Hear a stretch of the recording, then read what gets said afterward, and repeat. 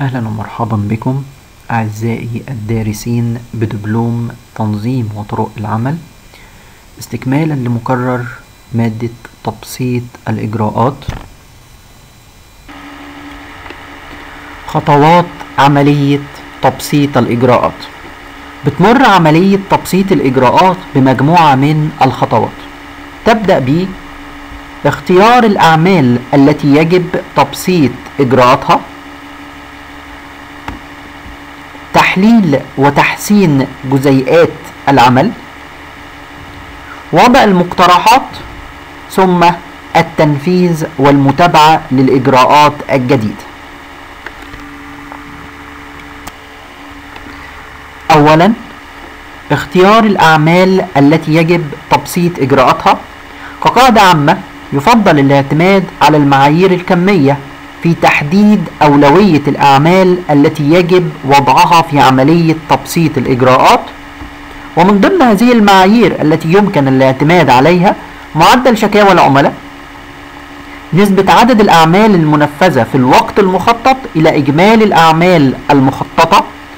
متوسط نسبة الخطأ في ملء نماذج ومستندات العمل. متوسط التكلفة الفعلية لأداء العمل إلى التكلفة المخططة. مصفوفة اختيار الأعمال.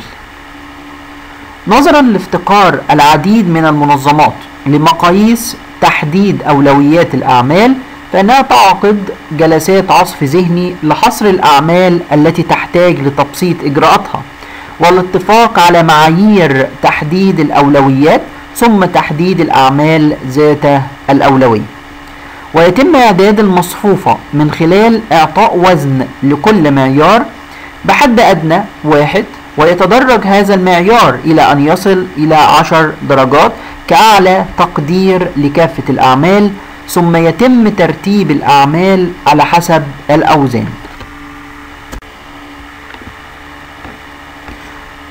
ونجد من خلال المثال التالي أن هناك مجموعة من المعايير التي من خلالها يمكن اختيار الأعمال التي يجب تبسيط الإجراءات لها ومن ضمن هذه المعايير احتمال نجاح عملية التبسيط مدى أهمية العمل للعامل نفسه قصر الوقت المطلوب لتبسيط الإجراءات النتائج المترتبة على عملية تبسيط الإجراءات مدى عدم رضا العامل عن الأداء الحالي للعمل مدى خضوع العمل للسيطرة والرقابة مدى القدرة على تبسيط الإجراءات من خلال الموارد المتاحة. وفي ضوء هذه المعايير المختلفة نجد أن هناك أربع أعمال مختلفة طلب الأجازة الترشيح للإعارة الترشيح لدورة تدريبية إجراءات المعاش ومن خلال ذلك نجد أن طلب الأجازة في احتمال النجاح حاصل على ست درجات الترشيح للإعارة على أربع درجات الترشيح لدورة تدريبية ثلاث درجات إجراءات المعاش سبع درجات. ومن حيث الوقت المطلوب لعملية تبسيط الإجراءات نجد أن طلب الأجازة حاصل على ثلاث درجات. الترشيح للإعارة خمس درجات الترشيح لدورة تدريبية تسع درجات بينما إجراءات المعاش تسع درجات. وهكذا.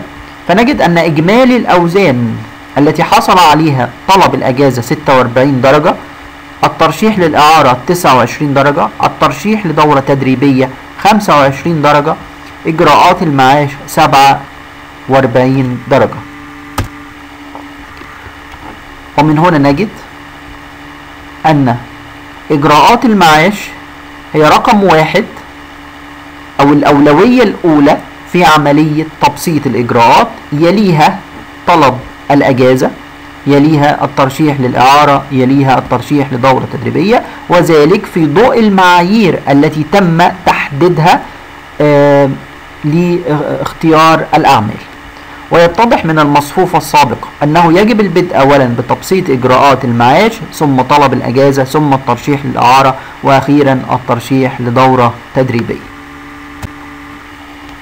المرحلة الثانية هي مرحلة تحليل وتحسين جزيئات العمل. ويقصد بها فحص تفاصيل وجزيئات أداء العمل المقرر تحسينه وذلك بهدف التأكد من أهمية مبررات أداء كل جزئية من العمل. ويبدأ تحليل وتحسين جزيئات العمل بافتراض أساسي وهو أن الطريقة الحالية للأداء ليست أفضل الطرق. ومن هنا تثار مجموعة من الأسئلة يمكن توضيحها على النحو التالي. ماذا؟ أو ما هو الإجراء الذي هو موضوع التحليل والدراسة؟ أين؟ أين يتم تنفيذ هذا الإجراء؟ وهل هناك أماكن بديلة أفضل لعملية التنفيذ؟ لماذا؟ لماذا يعتبر هذا الإجراء ضروريا؟ وهل يمكن الاستغناء عنه أم لا؟ من؟ من يقوم بهذا الإجراء؟ وهل هناك عاملين آخرين يساهمون في تنفيذ هذا الإجراء أم لا؟ متى؟ متى يتم إنجاز الإجراء؟ وهل هذا أفضل وقت أو أفضل ترتيب لهذا الإجراء؟ وأخيرا كيف؟ كيف يتم إنجاز الإجراء؟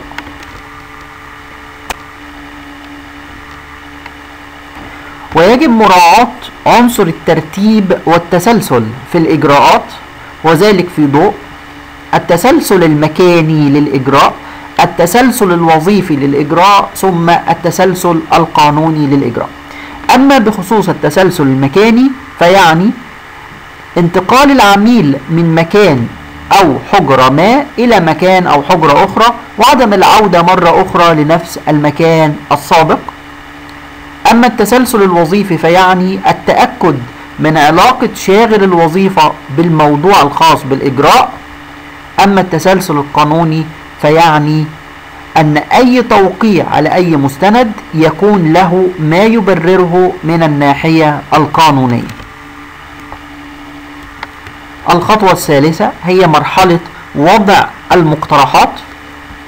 لا توجد شخصية محددة لوضع المقترحات الخاصة بتبسيط الإجراءات فيمكن أن يكون شخصا من الخارج كبيوت الخبرة والاستشارات أو قد يكون من بين موظفي المنظمة أو من أي قسم بها.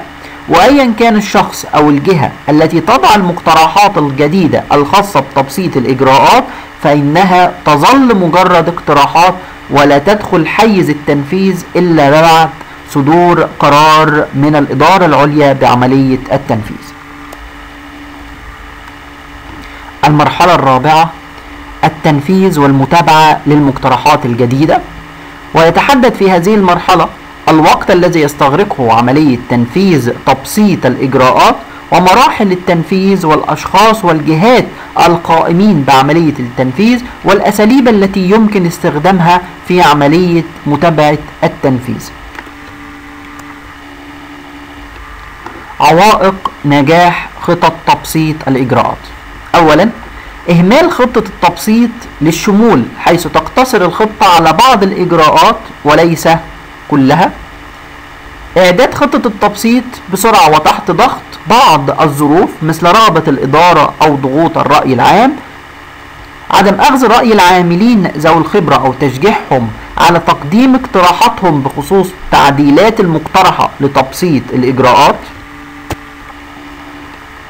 مقاومة التغيير بشكل عام ولذلك يجب العمل على التخفيف منها من خلال أن يكون التغيير في تبسيط الإجراءات تدريجيا بقدر الإمكان أن يتضمن مجموعة من المزايا للعاملين سواء كانت مادية أو معنوية أن يسبقوا حملة توعية لضمان فهم العاملين له اتباع سياسة الباب المفتوح وخاصة لاستقبال شكاوى العاملين والجمهور الخارجي.